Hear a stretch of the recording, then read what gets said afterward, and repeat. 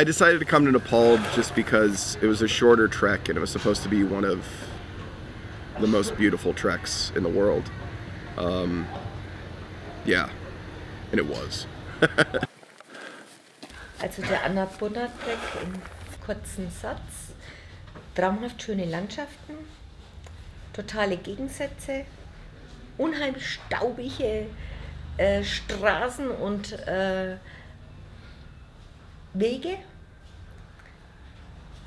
Aber im Ganzen war es traumhaft schön. Ich freue mich schon auf nächstes Jahr auf meinen anderen Track.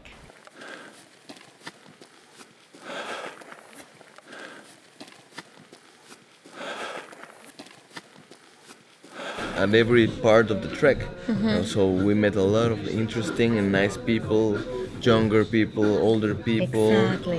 uh, Exactly. with so with many. so many so many stories behind them like behind. why they why were they doing this it was different in every person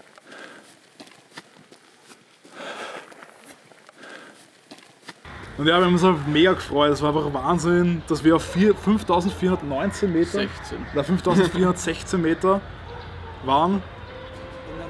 Ich ich kenne keinen von meinen Freunden oder von meinen Bekannten, der jemals so weit oben war. Blick mir keiner mehr an. Ob ich bleibe auf freiem Fuß, ob lebendig oder tot. Wenn die Zeit bei Laune bleibt, dann ist alles im Lot.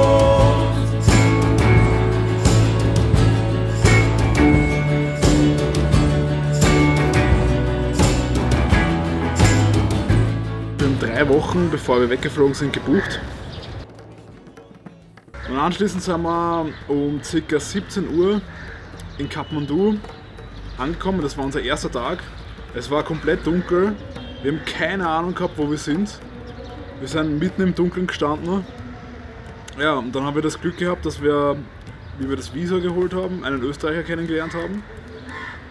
Und mit dem, der Österreicher hat uns dann quasi angeboten, dass wir mit ihm in die Innenstadt fahren können. Es war einfach eine komplett andere Welt in Kathmandu. Der megamäßig schlimme Verkehr. Alle Leute fahren kreuz und quer. Yeah, yeah. The the the traffic in Kathmandu was just chaotic. You know, in the in the states or in Europe, when you get stuck in traffic, you just stay there. You don't move. Kathmandu is just everybody's smiling while they're doing it. So like they're weaving in and out of traffic and they're just laughing and smiling and you're like these people are insane, but they're just happy in general.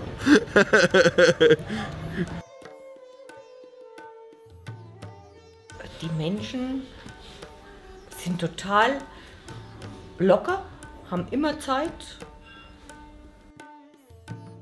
Uh, seeing monkeys just like around in a park it was it was very it was very impressive and cows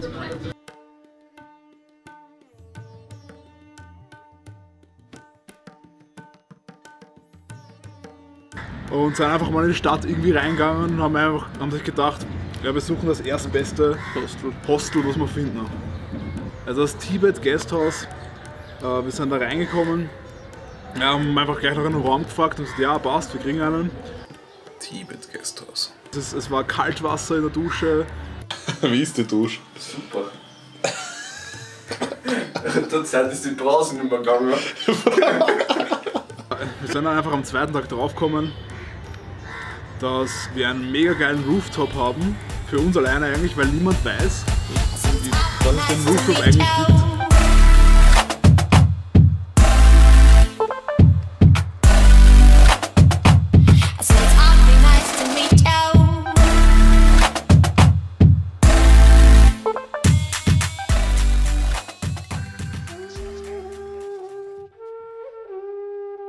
Pashupatinat, it was uh, an experience.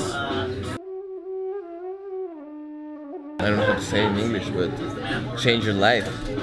Uh, the perspective of religion. Go into Pas- Pashupatinat and see another perspective of of Death. of death and how people mourn their death. This is our first time in, in Asia, so having um, in, be in touch with uh, people from another countries like India, Nepal, China.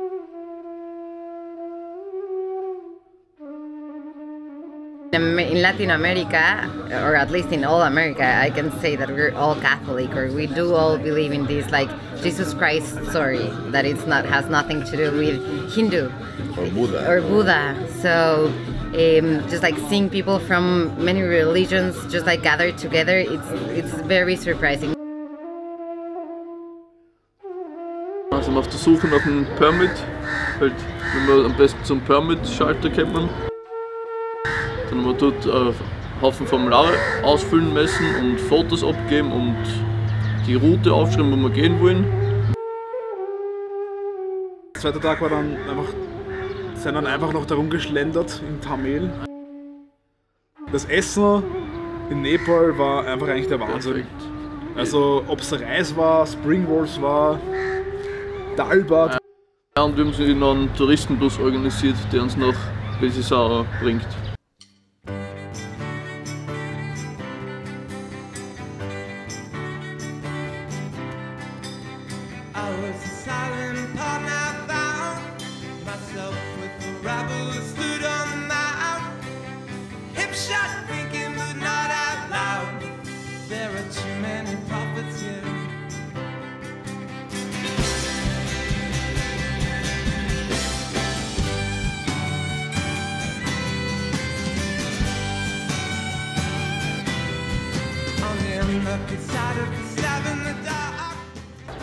Ja, haben wir dann gesagt, okay, am 5. Dezember, am nächsten Tag starten wir, schlafen noch einmal gescheit und dann geht's los. los.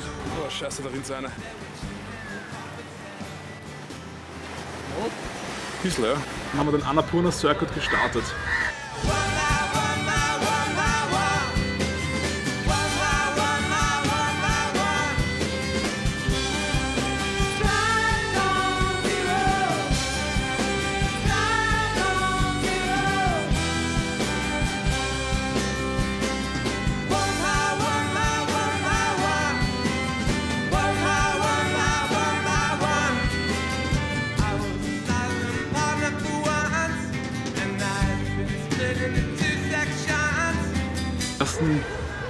Vier Kilometer. Ich meine, es war schon generell schön, weil man dann im Hintergrund die weißen Spitzen gesehen der Berge, die weißen Gipfel. Ja, wir haben dann, keine Ahnung, wir sind 19 Kilometer gegangen. Und ja, es wurde natürlich immer schöner. Wirklich wahnsinnig schönen Fluss in der Mitte immer gehabt. Wir sind eigentlich immer durchs Tal gegangen. Typischen äh, nepalesischen Brücken zu gehen, die auch super schön waren. Am Ende des Tages haben wir dann draufgekommen, wir müssen auch richtig einen Berg rauf, eigentlich, also einen Hügel. Und ja, als wir diesen, diesen Hügel raufgegangen sind, ist uns ein Nepalese entgegengekommen. Und dieser Nepalese, es war der Ball. Und der hat halt zu uns gesagt, ja, wir sollen halt zu sein Hotel raufkommen, weil sein Hotel ist das Beste. Mit dem Besten Ausblick. mit dem besten Ausblick, mit einer kältesten Bier. Ja, es war ein super Ausblick. Es war so ein richtig schönes Tal, aber noch richtig tropisch. Und irgendwie sind wir dann ganz nett ins Gespräch gekommen mit dem Ball. Und der hat uns dann auch irgendwie mit seiner Karte hat uns gezeigt, wie wir am besten gehen sollen.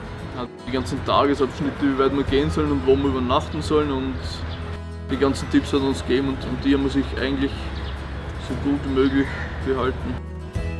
Haben noch ganz viel getratscht, einfach über die Unterschiede zwischen den Familien, zwischen der Kultur. Ja, es war einfach total interessant zu sehen, wie die Leute ihr Leben angehen und wie wir unser Leben angehen.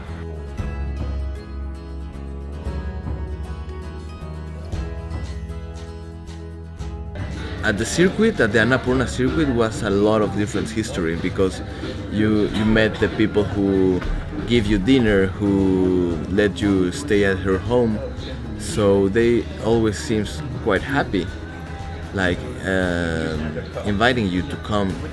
Yes. You get caught up quite a bit in, you know, the Western world acquiring things, whereas they just seem satisfied with what they have. For the most part, when you're up in the mountains, everybody's really happy. So, beautiful people, just great people.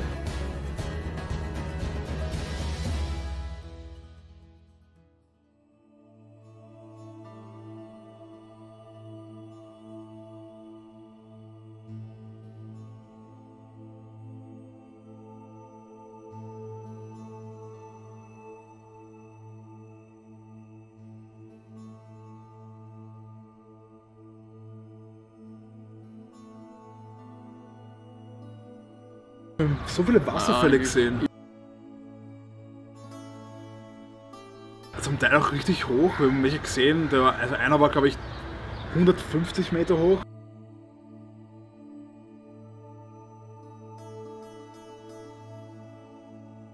Zum Teil sind wir haben, doch, wir haben eigentlich meistens bei den Wasserfällen auch immer wieder Pausen gemacht. Am 7. November sind wir dann von Schermsche losgegangen, war sehr schön Richtung Tal. Dann haben wir auch irgendwie begonnen, immer wieder Leute zu treffen. Dann haben wir dann zum ersten Mal auch zwei Tracker getroffen. Zwei Amerikaner aus Kalifornien. So Vater und Sohn, voll inspirierend. Die haben wir dann später auch nochmal getroffen in Praga. Die haben uns gefragt, was wir da essen und da haben wir auch zum ersten Mal, Mal was haben wir zum ersten Mal gegessen? Wir haben zum ersten Mal dort Knoblauchsuppe gegessen. Vorbereitung auf die Höhe. Auf jeden Fall nach Tal war unser Tagesziel Darabani und haben dann dort ähm, ein, eigentlich ein ganz nettes Hostel gesehen.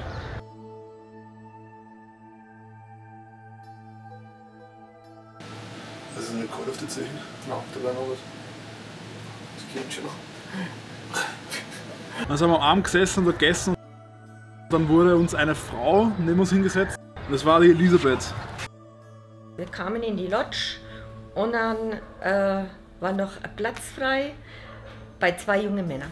Dann denke ich, oh Gott, die werden mich wieder mit Englisch anbabbeln und ich kann ja nicht so toll. Am Anfang nicht gewusst, okay, spricht sie Deutsch oder nicht. Auf einmal hat sie gesprochen. Ja, dann hat sich herausgestellt, dass sie ist Bayerin. Siehe da. Hm, ich habe gedacht, hm, sind es Bayern? Nee, ist mal Österreicher. Juhu. Eigentlich ewig lang mit ihr geredet. Sie ist 62 Jahre, macht diesen Track. Das war wirklich interessant. Wir hatten einen voll netten Abend. Ich habe mich richtig gefreut. Es war ein wunderschöner Abend. Wir haben uns total gut verstanden, super unterhalten. Ganz liebe junge Männer. Rufst du mich, dann lass dir sagen, Unglück trägt denselben Namen. Und nur meinetwegen stehst du nun im Regen. Am nächsten Tag sind wir dann nach Chame gegangen. Ja, es war ein irrsinnig harter Aufstieg.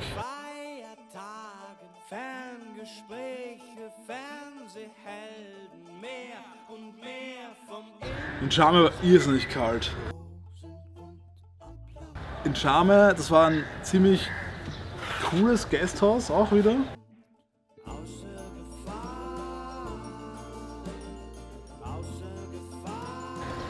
Wir haben da riesen fette Decken gekriegt auch. Im Endeffekt sind wir draufgekommen, dass auch den ganzen Tag dort keine Sonne scheint. Also du stehst ja nochmal auf, oder? Ja. Passt. Wegen Licht. Aber wir haben dort wieder zwei Leute kennengelernt. Den Dan aus den USA. Dann der Dowinder vom Dan the Guide, der war auch sehr cool. Wir haben den Kiran getroffen, einen nepalesischen Freund von uns. Oh man, we met in Chame. Auf jeden Fall haben wir dann ein ziemlich cooles Frühstück gehabt. We talked a little bit the night before, and then we had a really nice like breakfast. Im Endeffekt sind wir draufgekommen, dass der Dan äh, sehr viel reist, dass man seinen Job gut verbinden kann. Dass der Dan äh, mehrere Fernwanderwege schon in den USA gegangen ist. Vor allem auch den Appalachian Trail, der im Osten der USA ist, der über 3000 Kilometer lang ist. I used to do a lot of long distance hiking, like five months on a trail. Luckily, my job gives me enough time off that I can do something like this. So I started researching what trails to do. Um, the Mont Blanc was one, or just doing sections, like a three week section of um, maybe the Teora in New Zealand. But after I read about the Annapurna circuit, I was like, I can do that. That sounds like a good one. I'll do that one.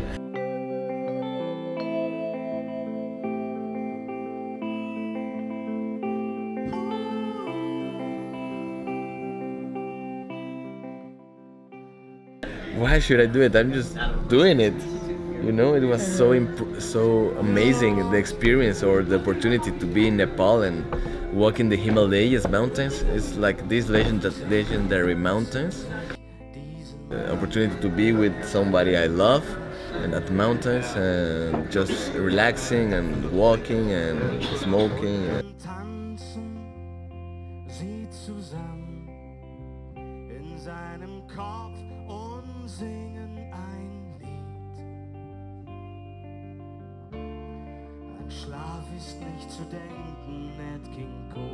And the land changes. I mean, you go up almost 4,000 meters total in difference from the start of the trek to the, you know, Throng La. So it, it changes so much. Wir haben einen exzellenten Ruf zu verlieren in schlechten Kreisen. When when I saw these oof, huge thousand meters up Mountain. mountains, so it felt like it was painted in the back.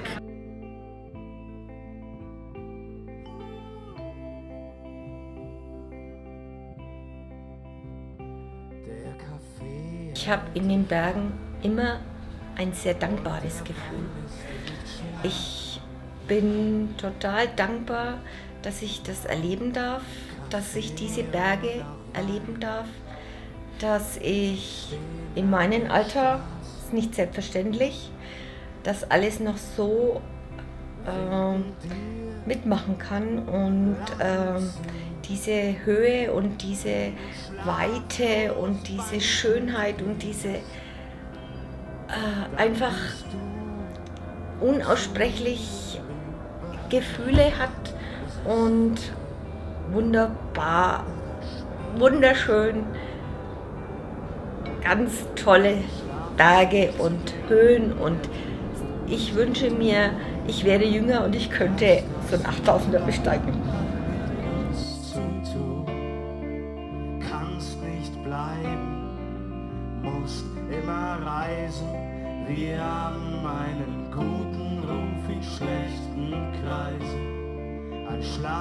Nicht zu denken, Nat King Cole singt Blue Moon. Dass das nicht klappt, hat mit uns zu tun. Kannst nicht bleiben, musst immer reisen. Wir haben you could see like all you, all your surroundings with mountains with wide big mountains and it was so so insane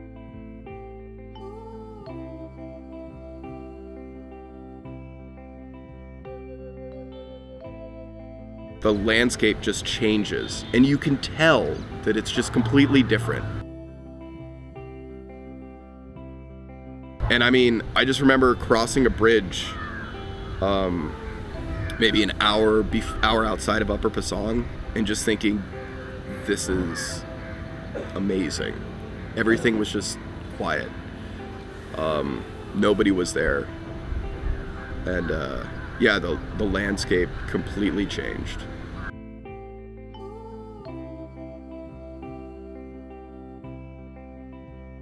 So I think that was probably my favorite moment on the trip because it was just the realization that things can change so quickly and be a completely different country in a matter of an hour.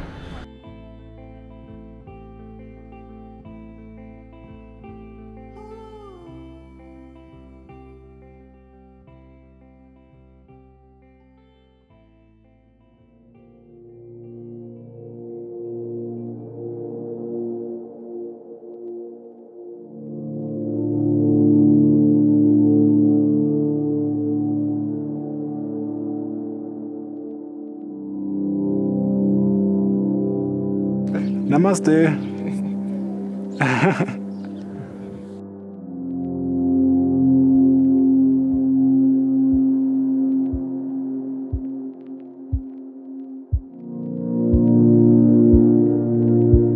Ja, Manang waren wir dann eigentlich nur ganz kurz. Wir haben dort gegessen, geschlafen, sind gegangen.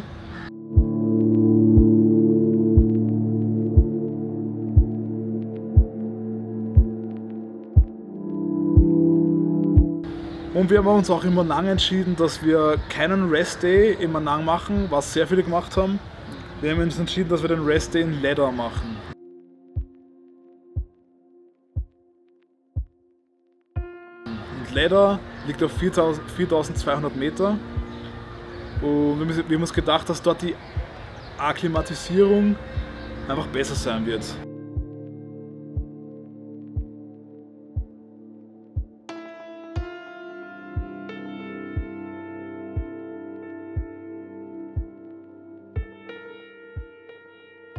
Laufe unseres gesamten Tracks haben wir immer wieder Porter gesehen.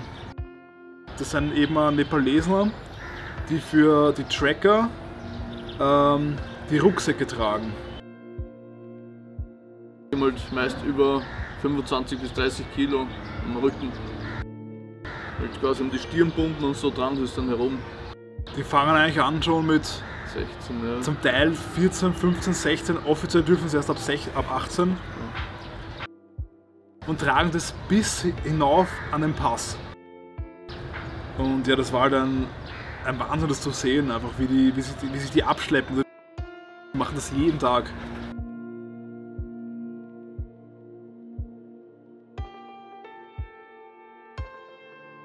Der Weg Richtung Leder, da waren, da gab es schon so viele weiße, schöne Berge rundherum. Es war atemberaubend einfach. Es war wirklich atemberaubend.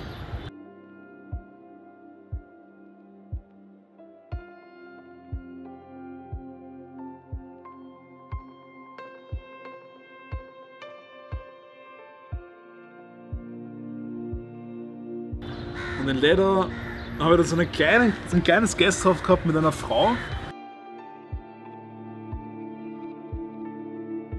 Ja, unser Rest im Leder haben wir eigentlich damit verbracht, dort irgendwie die Aussicht zu genießen.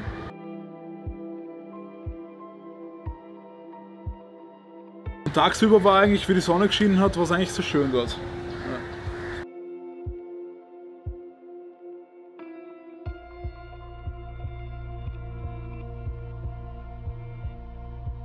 Diese große Stube in Leder hat so ausgesehen, glaube ich, wie eine Stube oder ein Haus im Burgenland vor 50, 60 Jahren.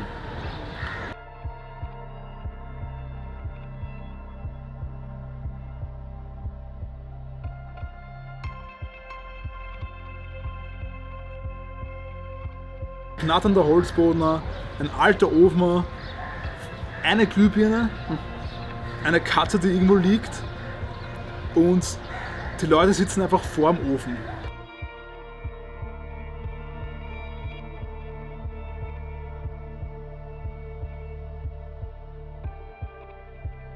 Und es war einfach, ja, es war richtig gemütlich dort einfach. Richtig heimisch irgendwie. Ja, richtig heimisch, ja.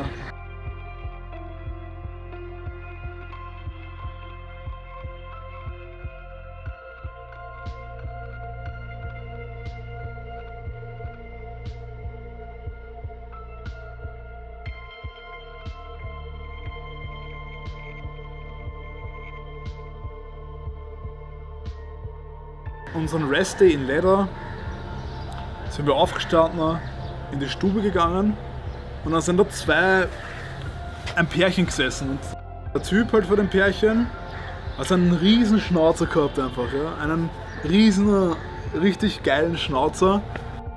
We meet them in Churiledar. Churiledar. So we were getting up because we were going to trek apparently to high camp.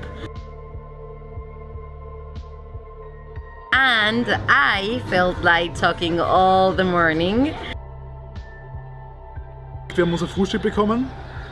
Das Frühstück wurde uns auf diesen Tisch von ihnen zwei gestellt. So these two amazing and truly sweet guys were sitting in front of us. Like I believe they just have arrived to that to that like home. Ja, die haben einfach beide so total eigentlich nett ausgeschaut. Ich habe mir so gedacht, ah, ich möchte, ich hätte so gerne ein geiles Foto mit diesem Schnauzer. Ja. Und dann haben wir, sind wir zufällig ins Gespräch gekommen. Wir sind draufgekommen, es sind zwei Mexikaner. Wir sind dann wieder zusammen, zusammengekommen und haben ganz, ganz viel geredet, auch wieder über Politik, Kultur, was, un, was unterschiedlich ist. Ja, was es einfach ausmacht. Warum, warum sie den Track machen. And I was really frustrated because we, at that time, we we we, we will never uh, got a place at high camp. Es war richtig interessant, das war total nett, ein sehr nettes Gespräch. we were talking, they were talking and talking, but eventually I just uh, joined the Join in. join in, and it was amazing. So yes, really cool. It was really cool. Was soll ich sagen? Es ist eine richtig coole Freundschaft entstanden. Und ja, wir haben uns immer wieder getroffen. Das war immer cool. Und ich habe mein Foto mit einem coolen Schnauzer bekommen.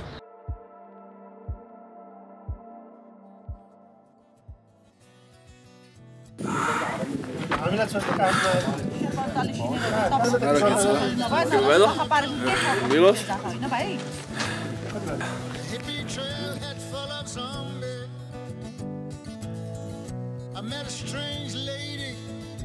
Anstrengend, ne? Geht. Es kommt ja noch. Der wieder der. Das große Ziel war das Highcamp. War dann so der letzte Punkt vor dem Pass. Der Tag, da hat man schon richtig gemerkt, okay, von Leder weg, die Luft wird sehr dünn. Jeder Schritt bergauf ist eine Katastrophe. Ist deppert. Hätte man nie gedacht, dass es so arg ist. Ich habe dann versucht, langsam den Berg hochzugehen, es ist immer besser gegangen, man kriegt einen Rhythmus rein. Dann sind wir in Torrenpedi angekommen. Wir haben auch gemerkt, okay, dort gibt es viele Leute, denen es, nicht, denen es nicht so gut geht.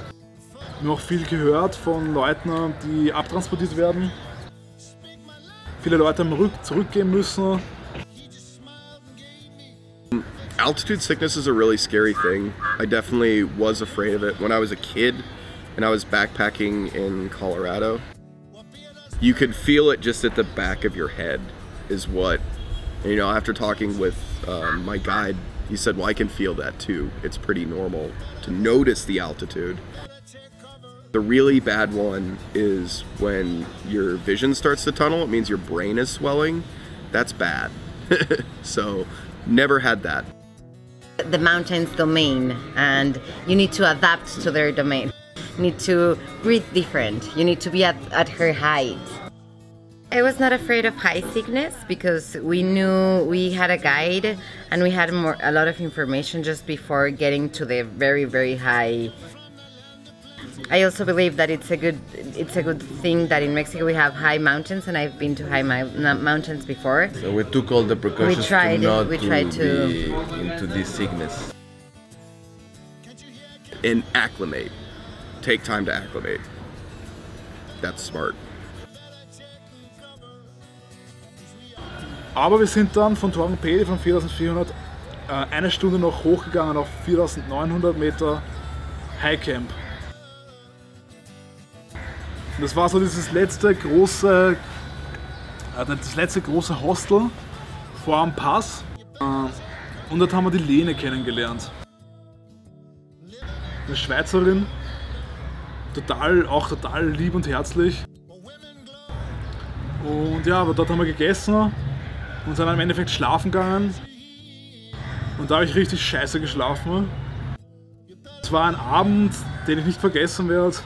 Zwei Stunden geschlafen und auf einmal höre ich was knattern oder knistern und so. Und dann sehe ich einfach mitten in unserem Raum in der Nacht eine Maus, die einfach unser Klopapier zerlegt.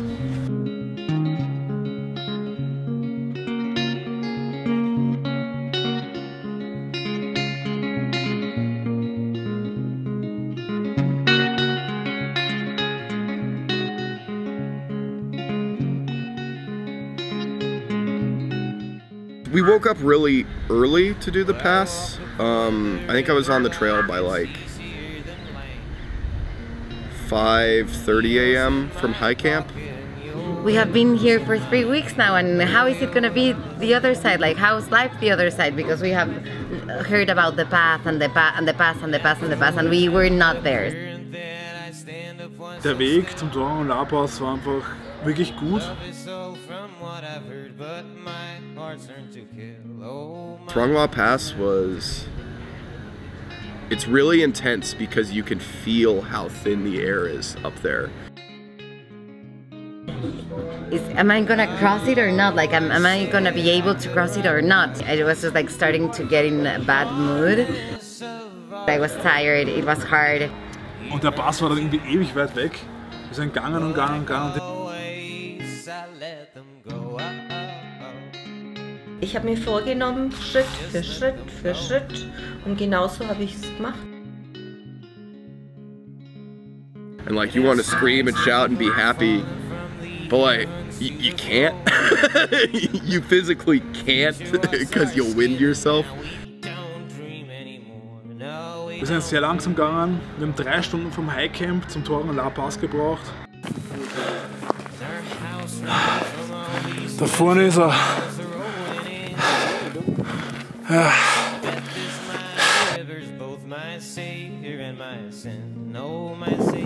Pass hoffentlich. Ich kann nicht mehr. Ich will nicht mehr. Dann irgendwann auf einmal war man am Pass. Our voices higher, higher. Tonight we raise the dead. Tonight we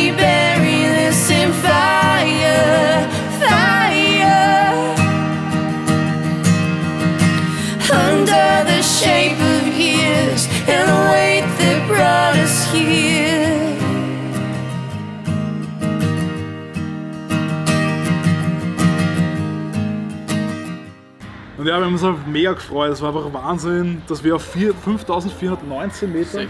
oder 5416 Meter waren. Ich meine, ich kenne keinen von meinen Freunden oder von meinen Bekannten, der's, der jemals so weit oben war. Ja. Ich bin gesprungen oben und äh, wie ein junges Mädchen und habe mich total glücklich gefühlt und es waren Glücksgefühle und ich habe mich ganz, ganz großartig und spitzenmäßig und stark gefühlt.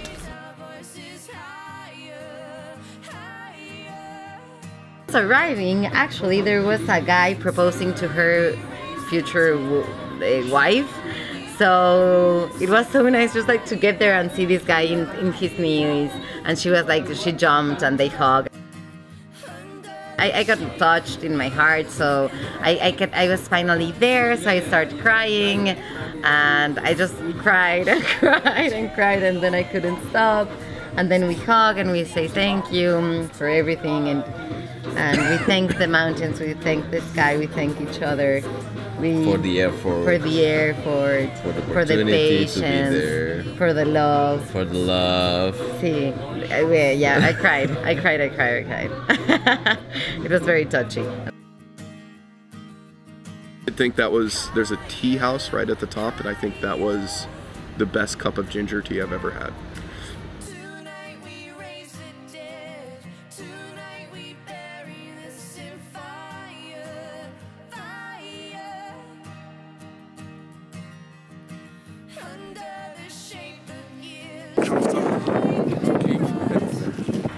Das war einfach, da habe ich mir gedacht, okay, du hast das erreicht, du hast das geschafft.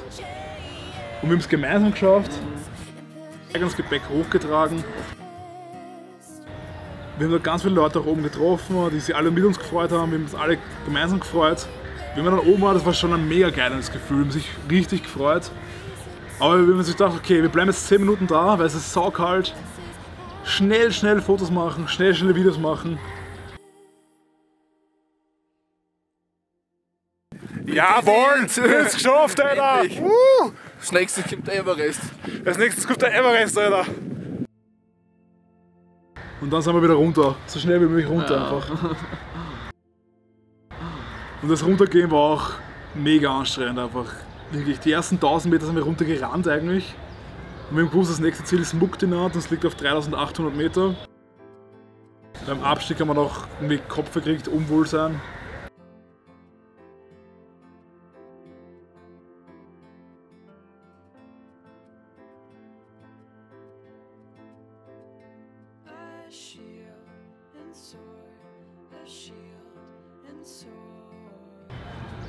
Also Mukdenat war eine sehr coole Stadt, ist auch richtig geil in den Bergen gelegen. Aber wir sollen unbedingt in Bob Marley Hotel einchecken. Wir haben ein Zimmer gekriegt, wir haben uns das Zimmer gehaut und wir haben zum ersten Mal, glaube ich, seit zehn Tagen oder acht Tagen eine richtig heiße, geile Dusche gehabt. Also so richtig so eine Befreiung von dem ganzen Dreck einfach abwaschen. Unsere komplette Kleidung war einfach voll dreckig, staubig, alles. Wir haben unser Zeug dort waschen lassen und wir fressen und trinken, was noch geht. Wir haben uns so gefreut, wir haben uns einfach so gehen lassen dort.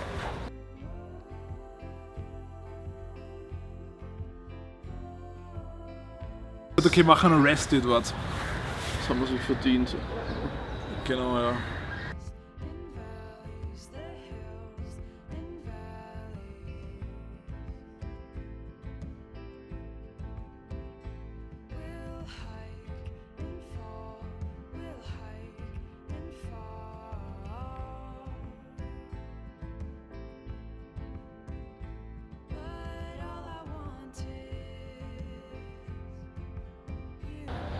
Und dann haben wir einen Jeep genommen von Johnson nach Bockara, der 8,5 Stunden gefahren ist. Und das war eine Strecke mit Schlaglöchern. Das waren Straßen, die in den Bergen hineingesprengt worden sind.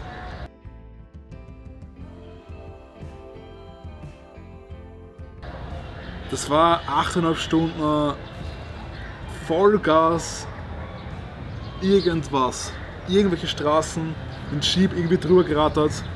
Ich glaube, der Fahrer ist kein einziges Mal über, die, über, die zweite, über den zweiten Gang drüber gekommen. Macht aber schon ein Chaos mit mega lauter Musik. Der Typ hat einfach so laut Musik gehört.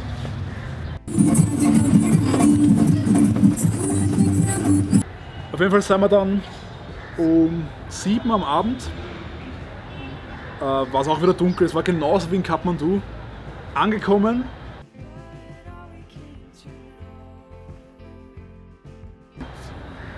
Mitten in Pokhara, keine Ahnung, wir wussten noch nicht, dass Pokhara so groß ist.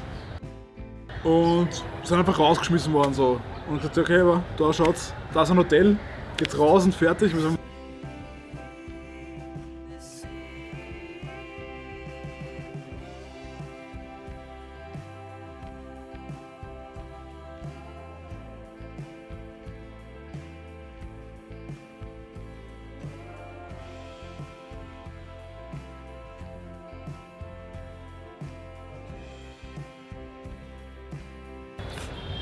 Pokhara ist eine Stadt mit einem riesengroßen, schönen See.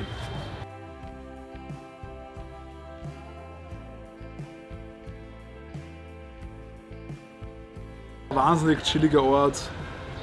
Äh, wieder über den Hügeln im Hintergrund spitzen sich die Berge, die Gipfel, die, die Gletscher. Und es ist halt ziemlich touristisch, aber einfach schön, richtig schön gemacht. Und wir haben auch gehört, dass eben dort wieder die Mexikaner dort sind. Und dass zufällig unser US-Freund, der Dan, dort ist. Wir haben dann einfach ein geiles Hotel genommen und wir gedacht, okay, scheiß drauf, wir nehmen uns ein Hotel für 25 Dollar pro Nacht, für uns zwei. Wir haben gutes Wi-Fi gehabt, warme Dusche. Wir haben einen richtig geilen Ausblick gehabt auf den See. Ähm, und wir haben dort voll entspannt.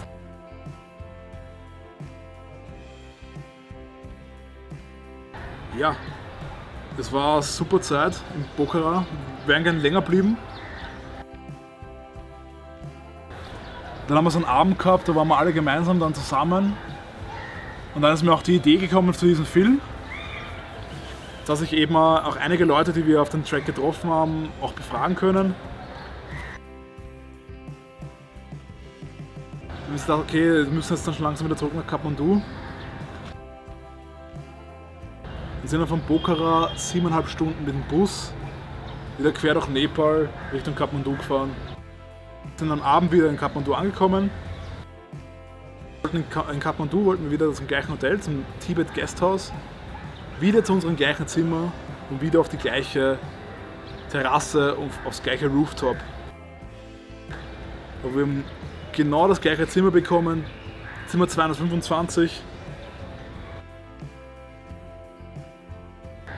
Und wir haben das, diesen ganzen Trip eigentlich dann am letzten Tag mit, a- wieder mit einem Bier auf unserem Rooftop ausklingen lassen.